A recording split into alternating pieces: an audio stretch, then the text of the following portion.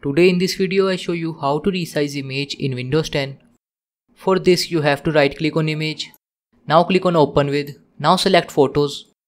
Click on three dots. Now click on resize image. Now change your image width and height like this. After that click on save.